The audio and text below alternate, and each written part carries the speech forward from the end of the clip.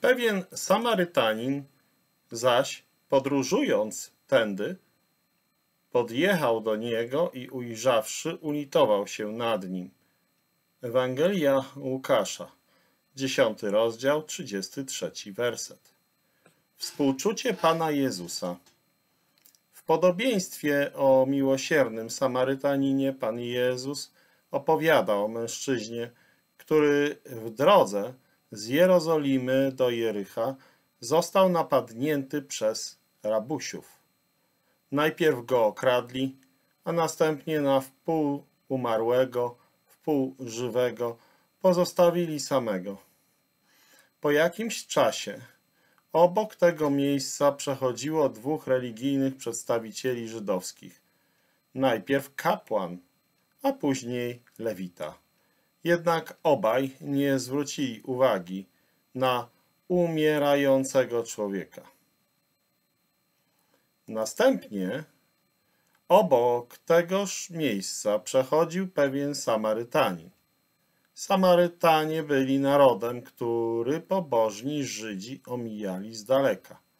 Jednak to właśnie o tym cudzoziemcu zostało powiedziane, że ulitował się widząc zranionego Żyda.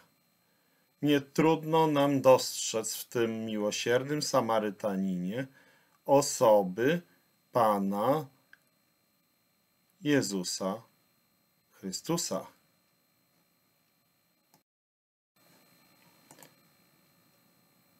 Widzimy w tym Samarytaninie Pana Jezusa Chrystusa, który sam o sobie mówi, przyszedł bowiem Syn Człowieczy, aby szukać i zbawić to, co zginęło. Łukasza 19 rozdział, 10 werset.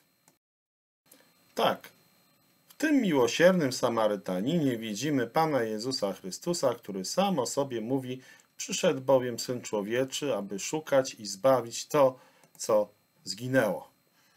Dogłębnie zranieni i oddaleni od Boga, zranieni przez złośliwość, złe słowa i niesprawiedliwość innych, ale również przez kłótnię i zazdrość, nauk i przemoc, żyjąc bez Boga, za który to stan sami jesteśmy odpowiedzialni.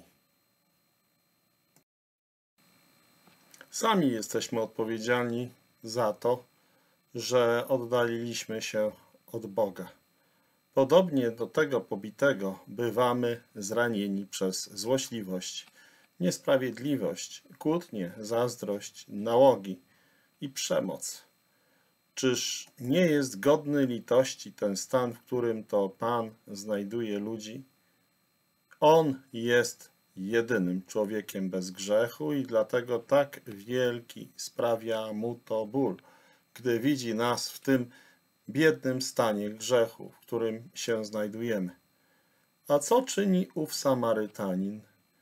On podchodzi, opatruje rany, wylewając na nie oliwę i wino. Sadza tego zranionego człowieka na swoje własne zwierzę, zaprowadza go do gospody i troszczy się o niego. To wszystko w przenośni. Chce uczynić Pan każdemu, kto da sobie pomóc i pozwoli się uratować.